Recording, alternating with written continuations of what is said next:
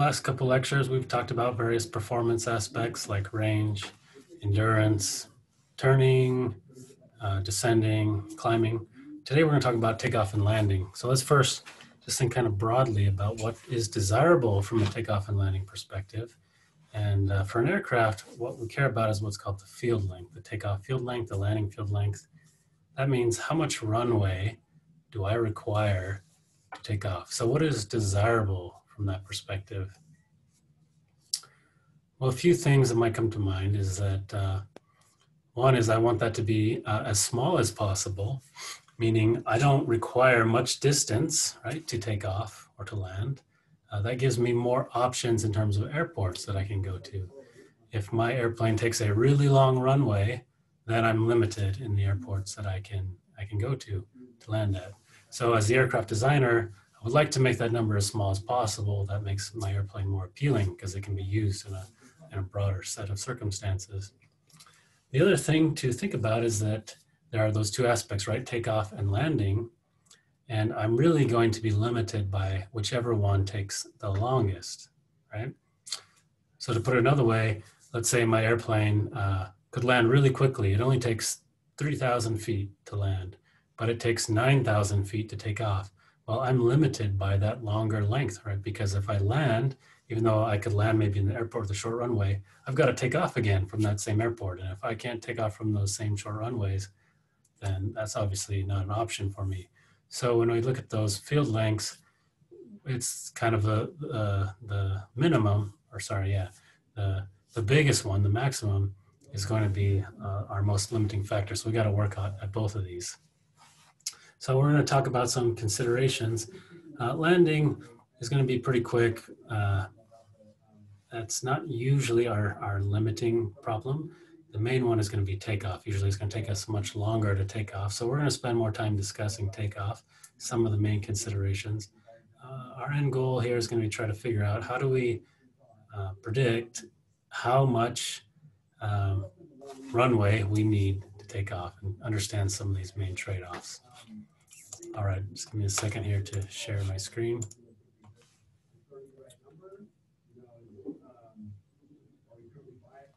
There we go. Okay, so first we need to think about uh, what happens with takeoff and landing in these in these large aircraft, and uh, and what we use are what called our high or what are called high lift systems. This equation here, we've seen it a few times, but just to help you remember, this is the definition of lift coefficient. We've used this a lot. One half rho v squared times reference area. Again, just the definition of lift coefficient. So I'm going to rearrange that equation and solve for v. Okay. That's what's done on the right. And we've done two additional things. We're assuming that uh, we're in equilibrium vertically, so lift equals weight. And the other thing is that I am interested in my stall speed. That's my minimum speed. So to get the minimum speed, I need to figure out when CL is at its maximum. But of course, CL can vary along the range, and that means I get a range of speeds. But my minimum speed occurs at my maximum CL, since that's in the denominator. Okay, so this here then is my definition or is the definition for the 1g stall speed. We say 1g because that means the case where lift equals weight. Okay, so from that equation, uh, we would like, for both takeoff and landing, it's desirable to get that stall speed down. If I can fly slower, that means I could take off sooner. Right? If my stall speed is really high, I need a longer runway to get up to those high speeds before I can take off. Similarly, when landing, if my stall speed is really high, I'm going to be coming pretty fast. I'd like to get that as slow as possible so that when I land, I don't need as much runway. So this is a, a key metric for both takeoff and landing to get that stall speed down. Obviously, weight plays a big role, unsurprisingly. Right, if my airplane is much heavier, it's going to take longer, or sorry, it's going to need to fly at these faster speeds and it's going to take longer to slow down or to get up to speed. Okay, so that's something that uh, I do have some control over, but of course that affects many other things, right? It's going to affect uh, my payload capacity and other things. Uh, similarly with reference area, we've talked about this before, that to lower stall speed, we want a, bigger wing. But of course that also comes with trade-offs in, in terms of weight and drag. Density is not something I have much control over, but it is something that is an important consideration. Uh, as the density is, is reduced, that means it's, my stall speed is going to be higher. And that's why for example, uh, at higher altitudes, say you're locally at the Salt Lake Airport as compared to San Francisco, we need larger runways, especially if it's a hot day, right? Because at the higher altitudes, higher temperatures, we're gonna have low, lower density, and so that's gonna affect uh, your stall speed, right? That's gonna make that higher. That can actually be important in some airports that are uh, very extremely high altitudes that may limit the type, uh, may limit the type of aircraft that can even go there. In fact, sometimes they've been able to land and they can't take off. So, uh, but the thing that we have the biggest control over, as we'll see here, is actually the CL max. It may not seem so at first. We've talked about sort of these fixed air wings, but uh, there's this idea here that for these commercial aircraft, um, the conditions that we want at cruise are very different from what we want at takeoff and landing. At cruise, we want kind of this low drag, streamlined shape, but at, at uh, takeoff and landing, we don't care as much about the drag per se. We'd love to create lots of lift. So what we really want is some sort of variable geometry where we can have a configuration that has tons of lift. It may have a lot of drag, but that's okay. It's gonna help us take off at these slower speeds where our drag doesn't matter. And we'd like to fold that away, get back to a compact shape at cruise, our CL max goes down, but we don't need we don't need to get to such small speeds during cruise, so that doesn't matter. And indeed, that's the the solution that is used in almost all transport aircraft is a is what's called a lift system. Has a variable geometry, but we're limited in what we do. We're not completely changing the geometry. Just a few small changes that are going to give us a lot of impact. Okay, uh, there are two main things that are used devices. The first is what's called a flap. Okay, so here's some pictures of various types of flaps. Um, but what we would like to consider, let me draw here this, uh, or I guess I've got already drawn, this curve here. This is a lift curve slope. We've seen it a bunch of times. I just my lift coefficient versus angle of attack for this airfoil here. And clean means just the regular airfoil. Uh, the flap is not deployed. Uh, we've seen this a bunch. So the question I want to ask is, what is this curve going to look like when I use a flap, when I deploy a flap? Just think about the physics what does a flap do to the geometry? And what would that do to my lift curve slope? Think about that for a second. Uh, just to give you a hint, remember that if we had a symmetric airfoil, what did the lift curve slope look like? Something like this, right? This would be symmetric section. I remember at zero angle of attack, if it's symmetric, then it has zero lift. And by adding camber, we are able to shift that curve. So this is indeed what happens with a flap. If you look at a picture of this, this flap, right, what is it doing? It's effectively increasing my camber by deflecting that flap downward. I've taken my airfoil and given it more camber. So as you might expect, I'm gonna shift this lift curve even more to the left. And it looks something like that, right? So there's the clean, flap extended, I shifted that curve to the, to the left. I gave it um, more camber. Uh, and that's, uh, that doesn't necessarily increase my maximum lift, but what it does here is that at a given angle of attack, it increases my lift coefficient. So here actually I did get a bigger CL max. That's not always the case. Maybe usually it's a little bit more. But the biggest impact is that at a given angle of attack, I can get a higher CL. That's all. That is nice for takeoff. That means I don't need to rotate as much, which is desirable desirable for passengers, right? That we don't have to rotate as much to get to the angle of attack we want. Okay. So that's helpful, but that's not uh, the whole story. Um, just as a side note here, notice these uh, slotted flaps. Um, so instead of just being a hinge here, there's actually a gap. Uh, it has some desirable properties. Uh, if you think about what's happening, what, what happens when I have that slot? What do you think is happening in the boundary layer as compared to a regular airfoil or even just a plain flap? Um, so if you're thinking about that, uh, a regular airfoil, right? remember what the problem is as I get to high lift. Why are we stalling?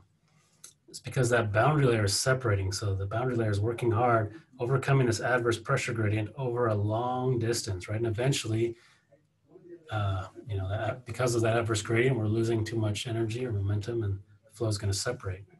If I have this gap, what happens is that fresh air uh, inflow can be entrained into that gap. So I get some high speed air coming in can re-energize that boundary there. I've got new momentum here. And so the pressure distribution here uh, can peak again, you know, as it comes up here and like has to recover, right? Uh, here I get kind of some new inflow into this back element. So even though I've got this potentially longer geometry, I get the new inflow coming in. It also actually helps this main airfoil This is kind of similar to what we talked about uh, a while ago with bikers, right? If we get them behind each other, uh, I increase the effective pressure of the biker in front of me. A similar thing happens is that this airfoil, because this uh, element, this is, uh, this is called the main element, this is the flap here. Because of the flap, the main element doesn't have to come down, this is minus CPS convention, doesn't have to come down to um, as high of a pressure. There's some pressure imposed on it from this airfoil here. Um, so uh, because I, uh, I can go to a lower pressure, this curve isn't as steep. It would otherwise be like this, for example, going down to a lower CP, so it doesn't come down as high. Uh, so that means it's also less likely to separate, but the biggest contribution here is that, uh, you know, if that didn't make sense, that you get this re-energized air in the boundary layer, so it's gonna have more energy to overcome that adverse gradient. Just a bit of an aside there. All right, so here's a couple pictures. Um, sometimes you'll see this is a, double slotted flap. There are triple slotted flaps. Here's another slotted flap, and this is what it'll look like if you look out your window next time during takeoff. You can see these multiple flaps, and you can see these slots here. And this is going to help the airplane to have a higher lift coefficient for a given angle of attack. So that's part of the answer. That doesn't fully maybe address our problem that we need to get to higher CL. It helps a little bit to get to higher CL. The other technology we're going to use is what's called a slat. Okay, here's a picture of a slat. The slat goes on the leading edge. The flaps were on the trailing edge. The slat here is this element that's uh, in front of the leading edge of the airplane. So take a moment and think about, try to predict, what do you think the curve is going to look like? Clean again, no slats. When I deploy a slat, how is that going to change the character of this curve?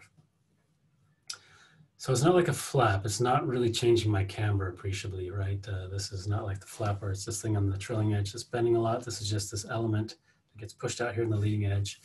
Um, you could think of it, remember when we talked about airfoils, why does an airfoil have a round leading edge as opposed to a sharp leading edge? Well, we discussed that having that round shape means it's going to be able to go up to higher angles of attack, right? It's more robust. If it was sharp, it would work really well at a certain angle of attack. But as I change that angle of attack, I've got to navigate this big pressure gradient to get around that corner. A slat has a similar effect. It creates this kind of blunting effect. I've got this big shape here.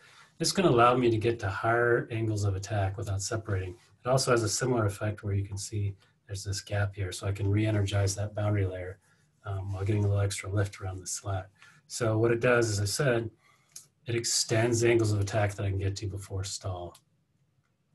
Um, so we're generally going to use these in tandem, both flaps and slats. So the combination is both going to extend this curve and shift it over.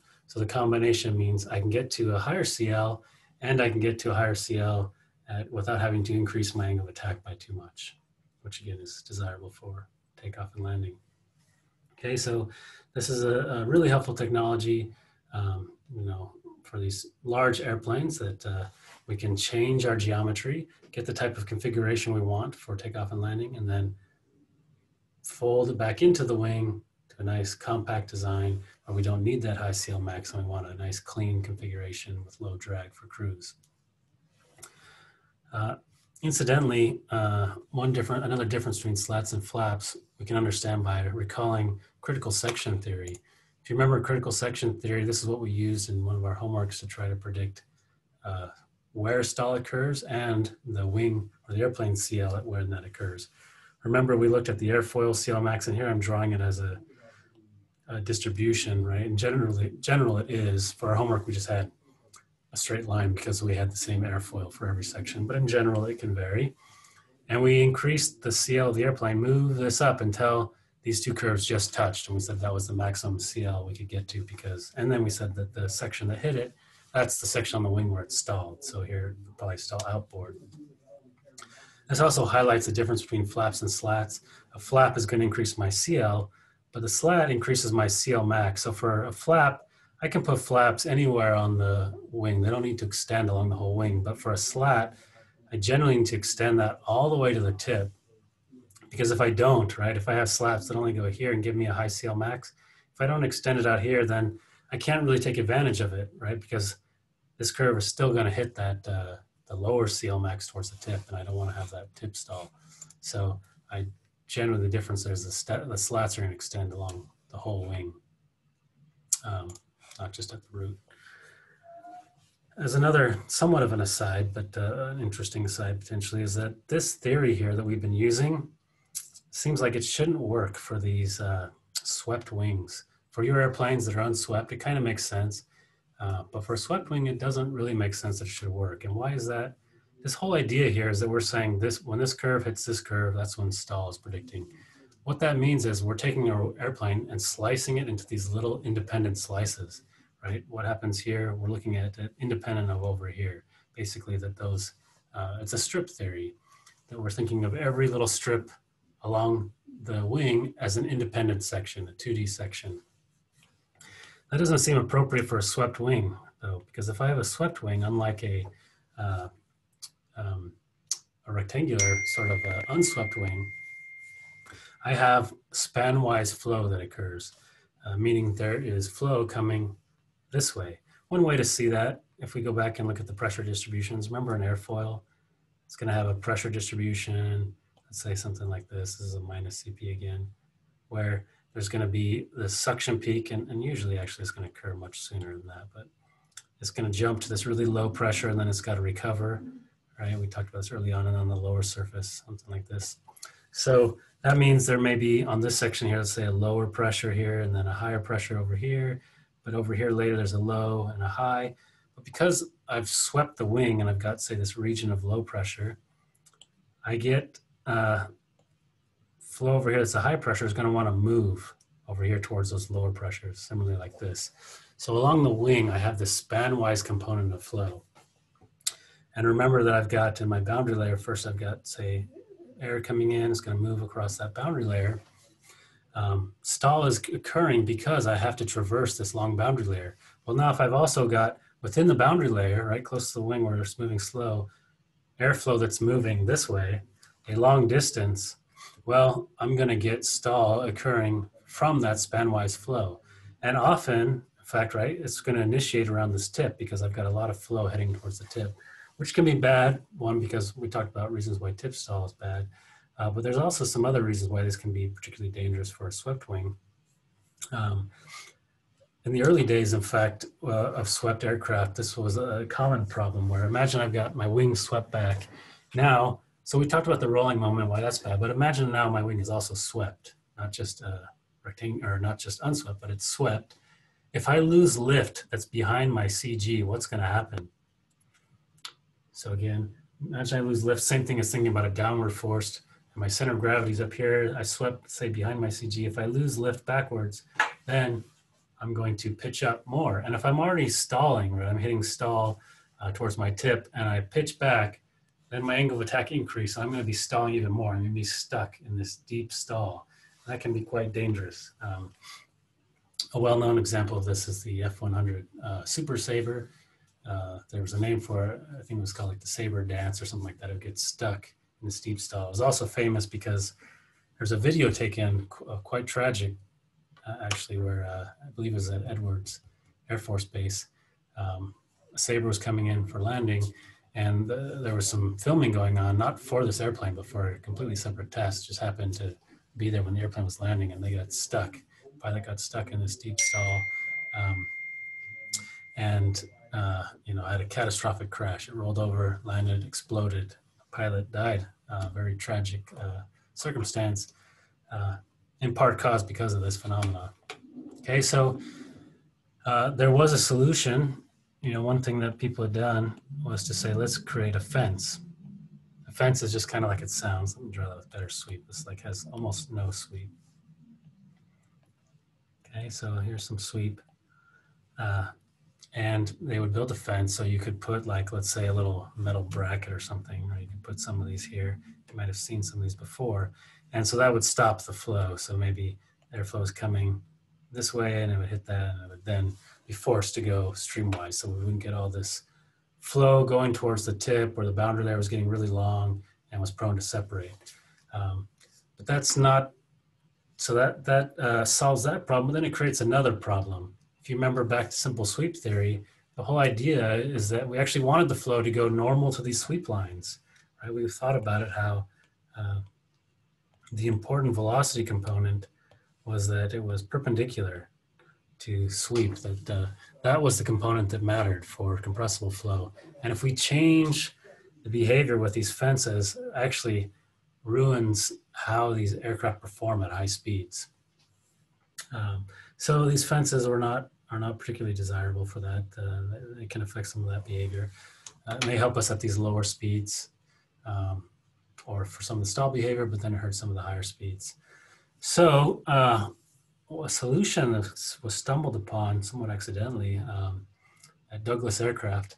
I believe this was with the DC-8. They were doing some wind tunnel tests and they had the DC-8 and um, they had a new wing. I think the engines were on the tail and it was performing really poorly to get the high lift coefficients they wanted for the reasons that we've talked about here because of the uh, span-wise flow and the early stall that's occurring.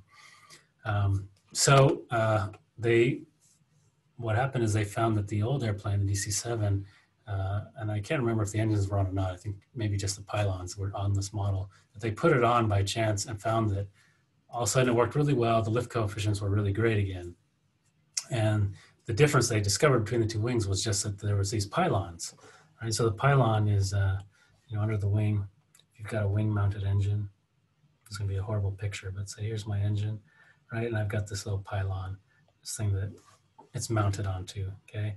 And the engines, you know, even if they remove the engines here, right, so you've got just this little pylon thing, they found that uh, just that it was enough to um, make it so that the airplane still had this nice high lift uh, behavior. And so they kept whittling down the pylon and found they could make it really small. So you could have um, just a small little thing under here.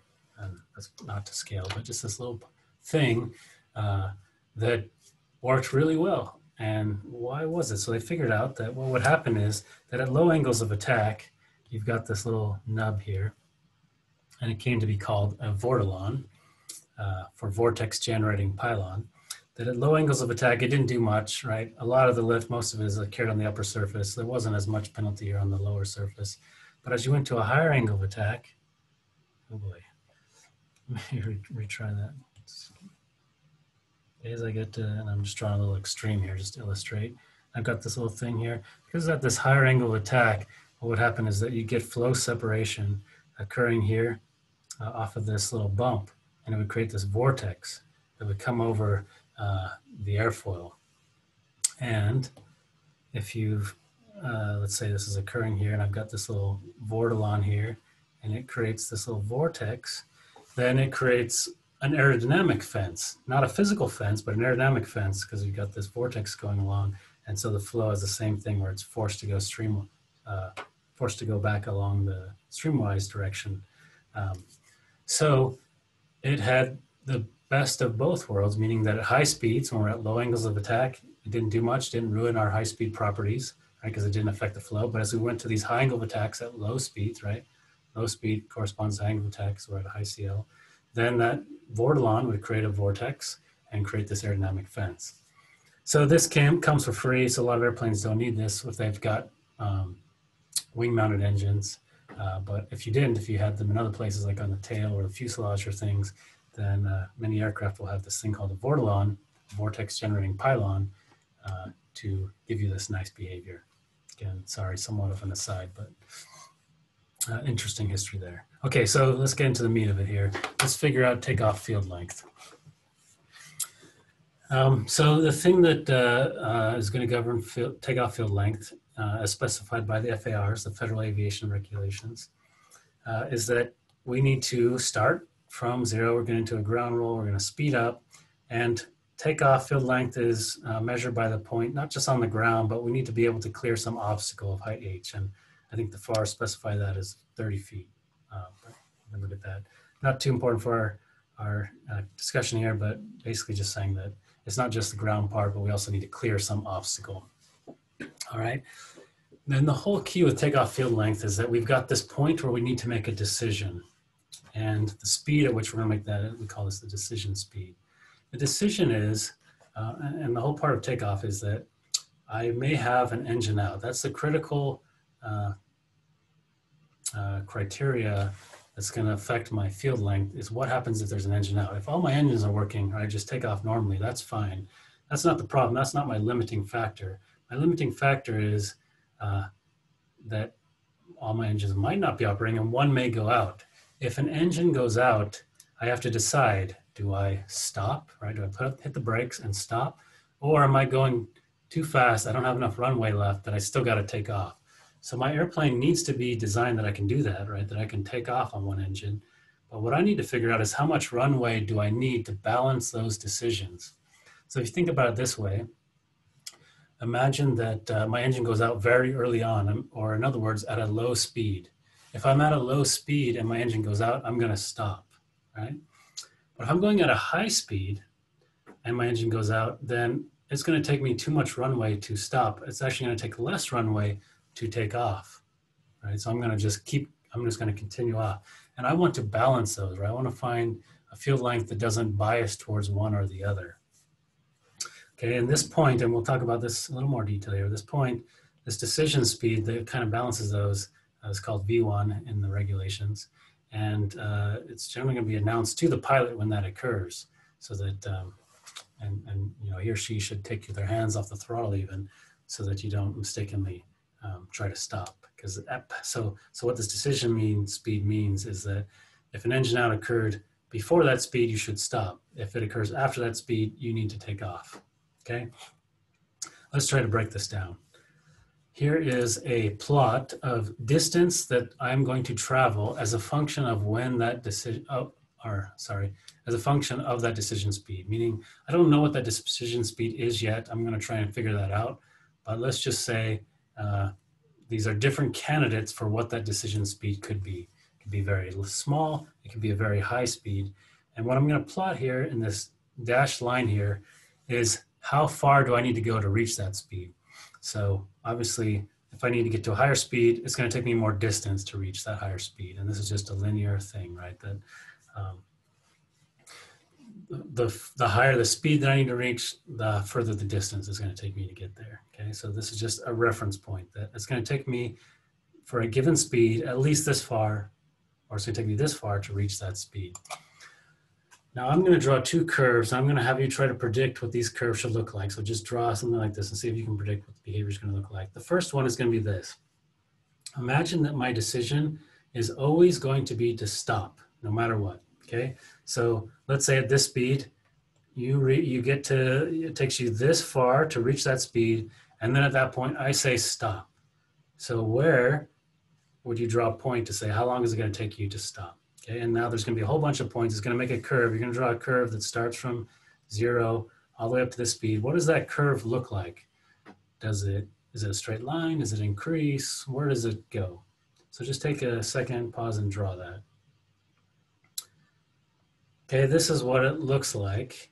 Uh, and there are two key things that you should probably, uh, that you may have been able to guess. One, of course, is that it needs to be above this line, right? This is the speed or the distance it takes me just to reach that speed. And it's going to take me some more distance to stop. Now that I've reached that speed and I say stop, well, it's going to take me some distance to stop. Of course, at zero, it doesn't take me any distance.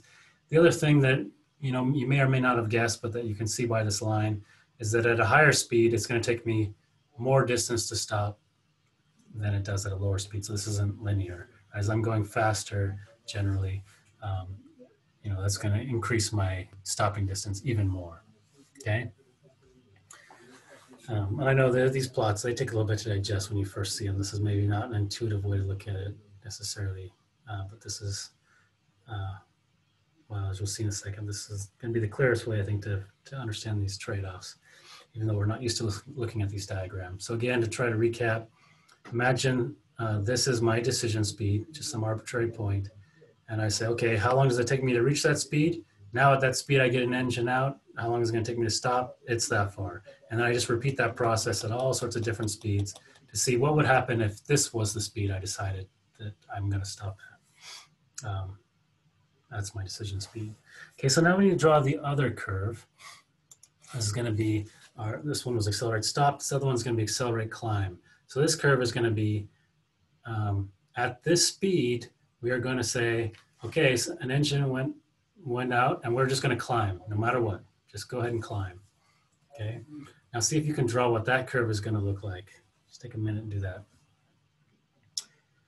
Okay, this is what it's going to look like. Um, and of course, again, it's going to be higher than this curve.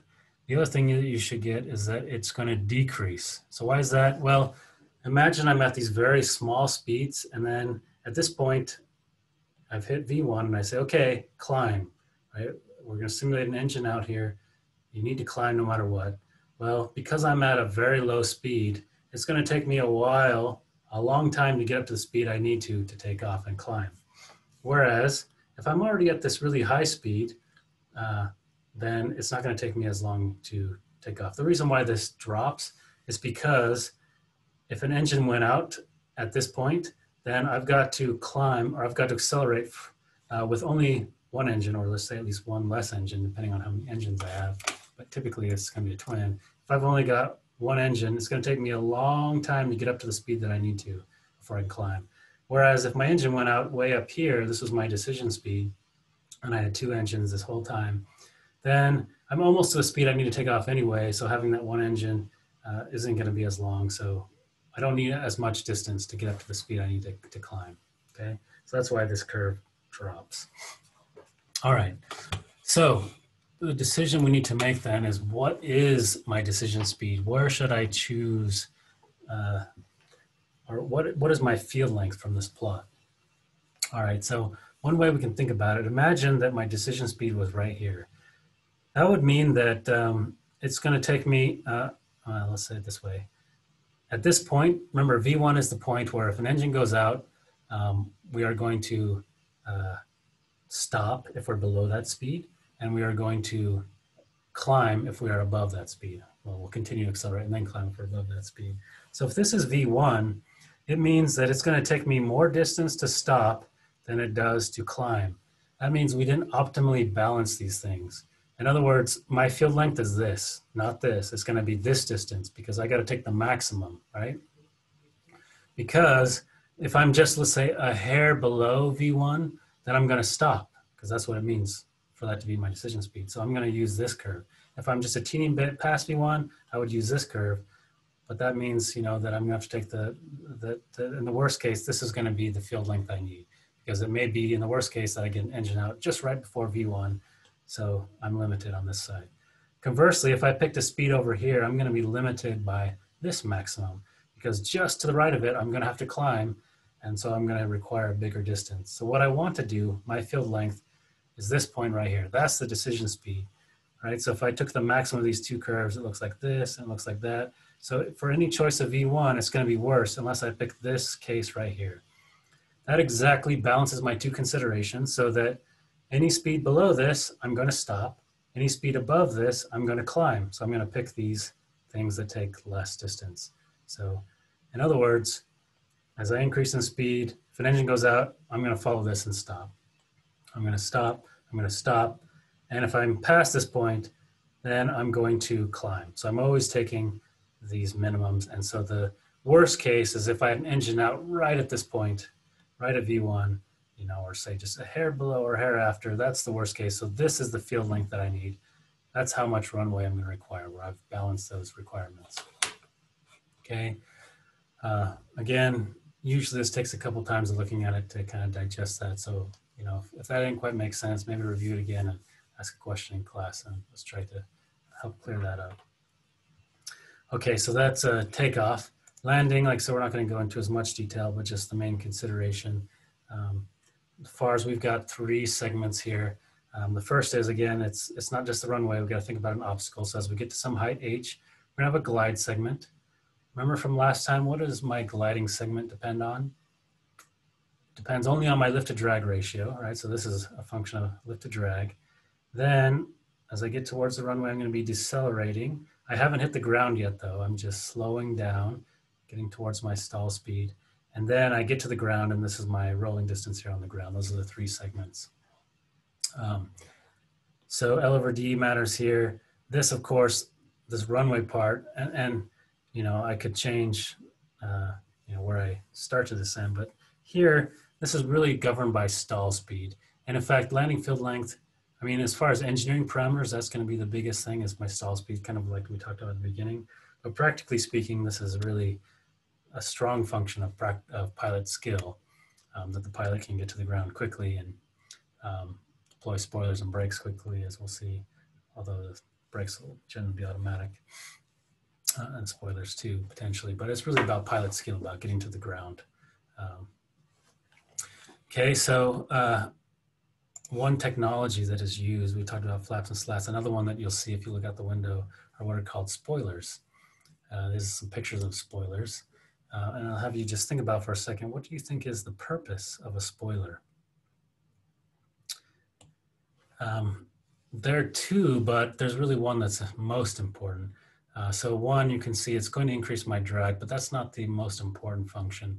The most important function is that it drops my lift uh, significantly, right? So, I mean, you know, we've talked about stalling the airplane basically just cause the flow to completely separate at that point, so we lose a lot of lift. The reason why that's important is that, uh, let's think about the drag force, the, the X component of the force acting on the airplane. So the force is going to be the drag. There is drag acting, um, but there's also going to be the friction force. And if you remember back to physics, right, it's the coefficient of friction times the normal. So I've got my friction coefficient times the normal. And the normal is going to be my weight minus my lift, right? So if my lift was equal to my weight, that means I'd be just hovering. I mean, not really hovering, but I'd be just above the ground, right? Or just, even if I was touching the ground, I'd have no weight on the ground. Um, and ideally, I want that lift to be zero, right? So that I've got my full weight on the ground. That means I've got my full surface no normal, the most friction possible. So this drag is important, but that's not as effective in stopping me as friction is. I want to get this lift to zero so that this is a big term. I've got that full friction force and my brakes can be most effective because that's going to slow me down much faster than just the drag. Not to say that, that is important, but this is a much bigger term. So that's the purpose of these spoilers. Deploy it. Sometimes you'll even feel a more sudden drop if you're not, if you just barely, you know, you bounce a little bit. Um, you want to get that lift gone, right? So you can get your full weight on the ground and and and slow down from fric from friction. Okay, so that's that's what that's for. But, so like we talked about landing though, usually we can land much quicker than we can take off. Uh, but in both stall speed, um, stall speed was a key engineering parameter. We want to get that down. And for landing or takeoff, it was really this kind of key balance between um, this decision between should I stop or should I continue. And we want to get that, the landing field length is basically right where it would be worse if we picked any speed just to the left or right of that. It's the speed that balances that. That's our minimum that we can have. That's our field length that we're going to be, um, uh, that we can land or that we can take off and land at. I mean, really take off, but usually that's limiting for both. So that's going to be a key engineering design parameter um, for the engineers working on that portion to be able to get that landing or takeoff field length down. Okay, so next time we're going to start talking about structural aspects of the airplane. This will end our, our topics related to performance.